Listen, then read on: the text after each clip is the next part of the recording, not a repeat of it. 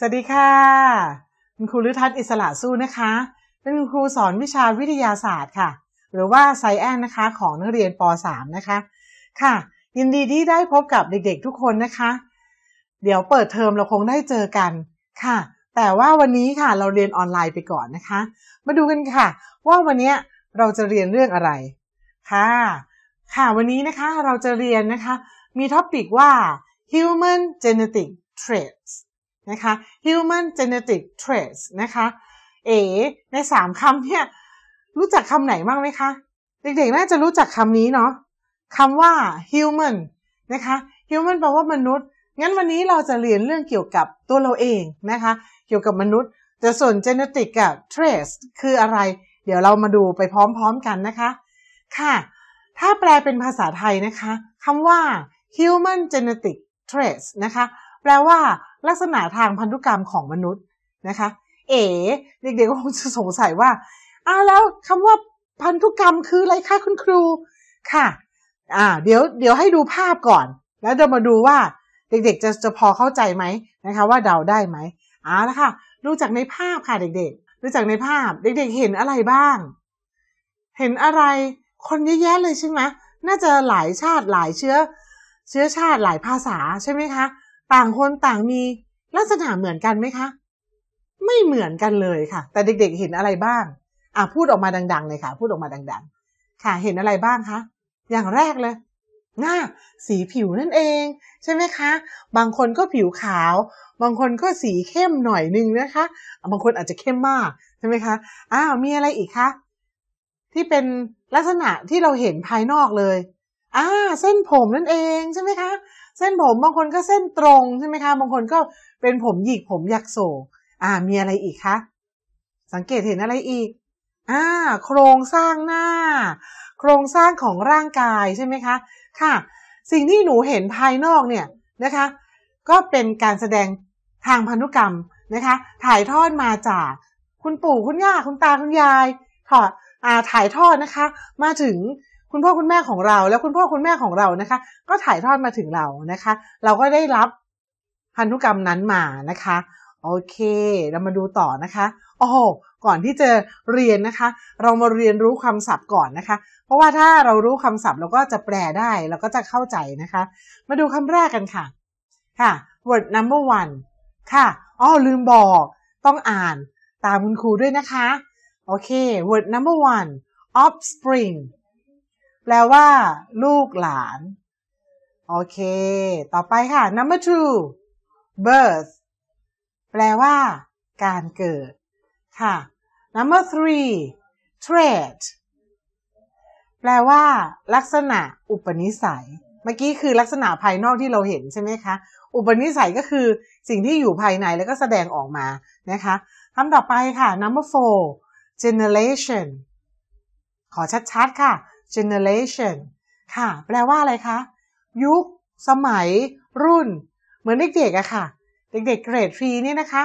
ก็ตอนนี้เด็กๆรู้ไหมว่าตัวเองอยู่เจนไหน อะเขาเรียกสั้นๆว่าเจนนะคะ เด็กๆอยู่เจน Y นะคะ ต่อไปค่ะ number five นะคะ number five ค่ะ คือคำว่า genetic genetic แปลว่าอะไรคะ เกี่ยวข้องกับยีน หรือว่าทางพันธุกรรมนะคะ เรียกสั้นๆว่ายีนนะคะ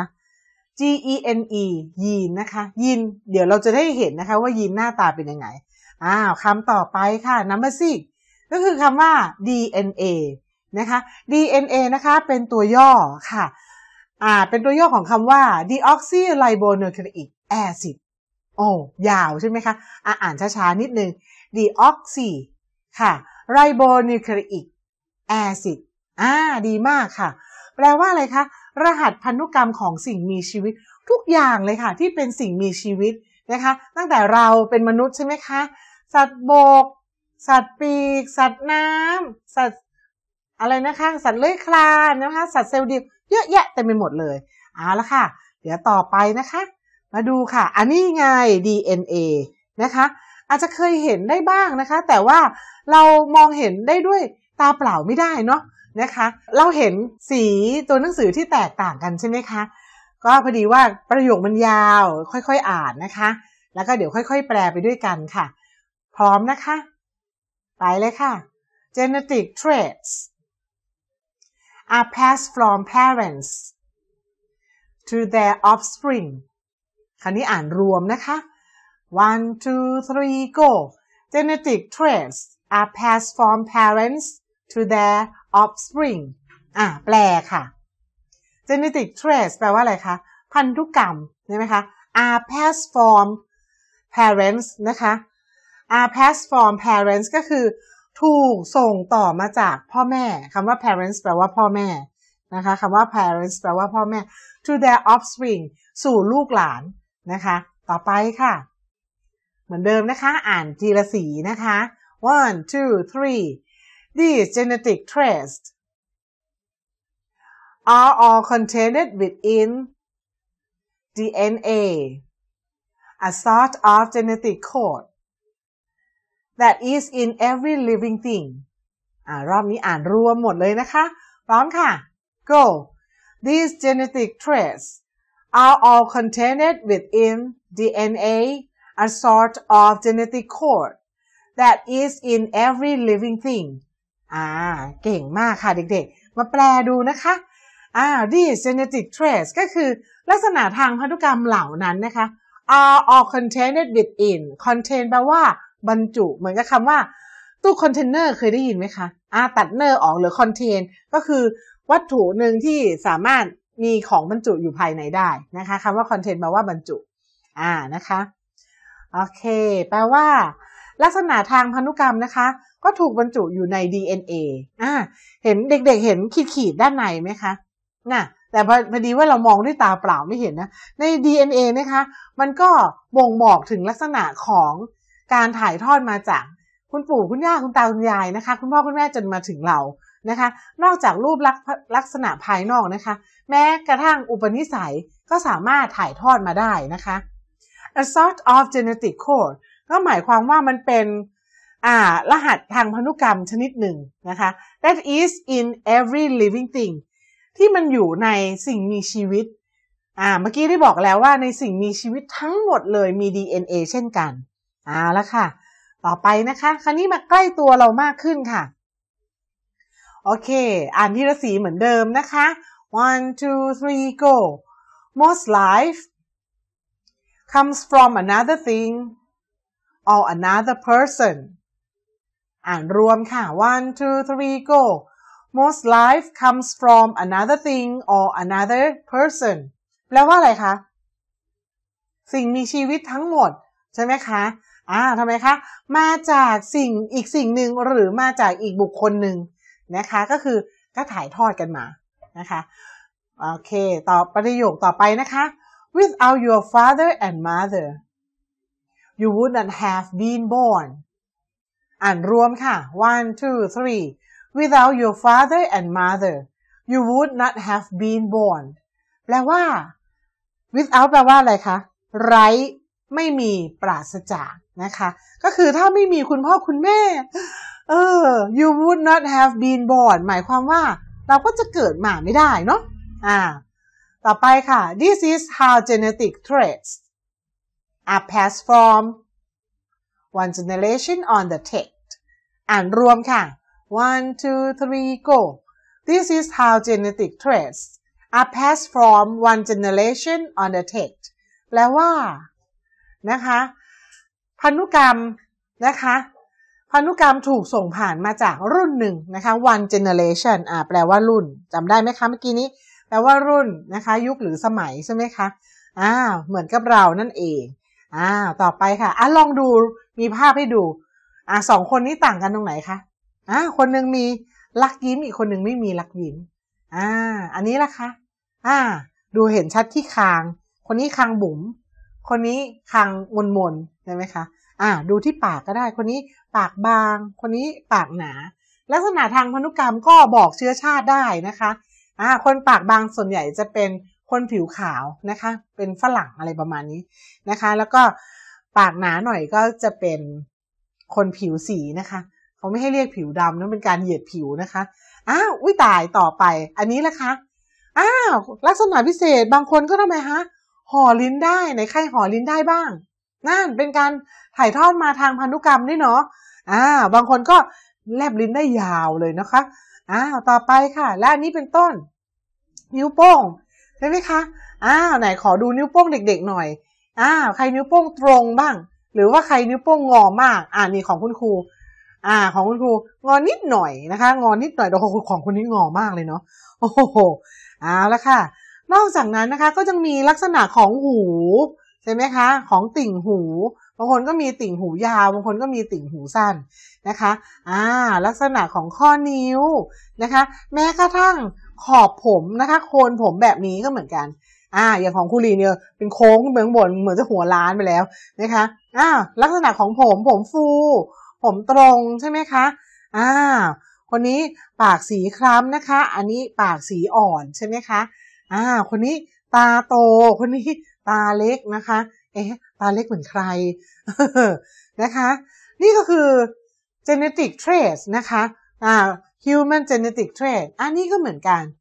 น้องเป็นฝาแฝดนะ แต่ออกมาคนนึงผิวขาวกว่าอีกคนหนึ่ง ทั้งทั้งที่คุณพ่อคุณแม่ก็ผิวผิวเข้มนะคะ อ่า เห็นไหมคะ อันนี้ก็เหมือนกัน อันนี้เห็นชัดเจนเลยว่าน้องเหมือนจะเป็นฝรั่งมากกว่า แต่ว่าลักษณะอื่นๆ ก็ยังเป็นคงเป็นลักษณะที่ถ่ายทอดมาจากคุณพ่อคุณแม่นะคะ ก็คือผมหยิก อ่า ดวงตาเหมือนกัน จมูกเหมือนกัน ปากเหมือนกัน ยกเว้นอะไรคะ สีผิว อ่า นี่ก็เหมือนกัน อ่าสองคนนี้เป็นแฝดใช่ไหมคะ พอมีน้องมาน้องก็เป็นแฝดอีก แล้วก็ที่สำคัญเป็นแฝดแบบคนละสีผิวเลย คนนึงขาวอีกคนนึงเข้มนะคะน่านี่คือการได้รับการถ่ายทอดพันธุกรรมมาจากคุณพ่อคุณแม่นะคะ อ่า นี่ก็เหมือนกันเห็นไหมคะ คุณพ่อผิวเข้ม คุณแม่ผิวผิวขาวใช่ไหมคะ น้องออกมาก็มีสองสีเลยน้องเป็นแฝดเหมือนกัน เหมือนกับครอบครัวนี้ค่ะ นี่เป็นครอบครัวใหญ่นะคะ นี่เป็นครอบครัวจริงในประเทศอังกฤษ เป็นครอบครัวที่มีลูกมากที่สุดเลยนะคะ เด็กๆสังเกตไหมคะว่าแต่ละคนทำไมฮะไม่เหมือนกัน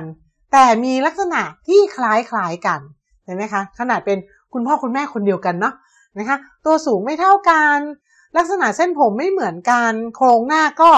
ไม่เหมือนกันนะคะ ก็แตกต่างกันนะคะ ประมาณนี้ โอเคค่ะ คราวนี้ถึงตาเด็กๆแล้วนะคะทำแบบฝึกหัด สั้นๆ ง่ายๆแหมอย่าทำหน้าเบื่อนะคะ ไม่ยากจริงๆ มีนิดเดียว อ้าว มาดูคำสั่งก่อนนะคะ อ่านพร้อมกันค่ะหนึ่งสองสาม tick the information about human genetic traits in your family